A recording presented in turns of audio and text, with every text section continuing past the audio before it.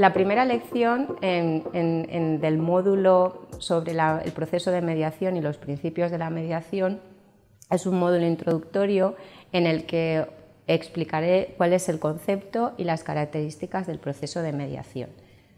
En cuanto a la definición, podríamos decir que se trata de un procedimiento estructurado, sea cual sea su nombre o denominación, en el que dos,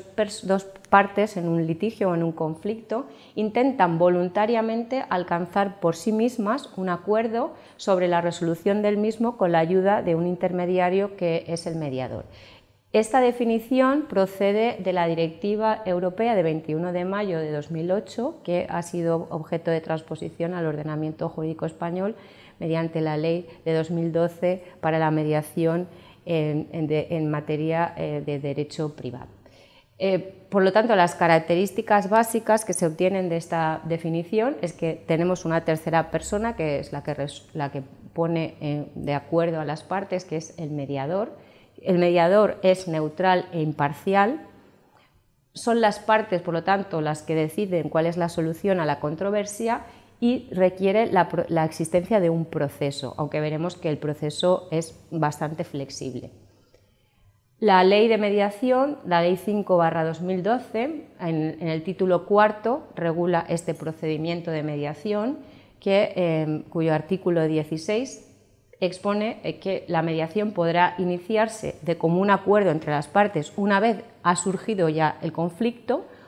o bien en virtud de un pacto de sometimiento a la mediación concertado previamente al conflicto. Podría ser, por ejemplo, en un contrato de arrendamiento en el que se incluyese que cualquier controversia derivada de este contrato se, resolverá vía mediación. Cuando eh, se hubiera iniciado un procedimiento de mediación para poner fin a la controversia, si este conflicto está siendo objeto de eh, de, sometimiento a decisión judicial, se pondrá, se suspenderá el, procedimiento, de acuerdo con el artículo 16.3 de la ley. Por lo tanto, una de las notas características de la mediación es la voluntariedad y requiere, para poder someter la controversia a mediación, se requiere un contrato previo entre las partes, un acuerdo en el que las, mismas partes designan al mediador y en un segundo momento eh, cuando se ponga fin a la controversia, si es el caso, se pondrá fin a la misma mediante un contrato también, un negocio jurídico mediado. Por lo tanto, es voluntario tanto para iniciarlo como para finalizarlo y es informal, pero sí que tiene un proceso.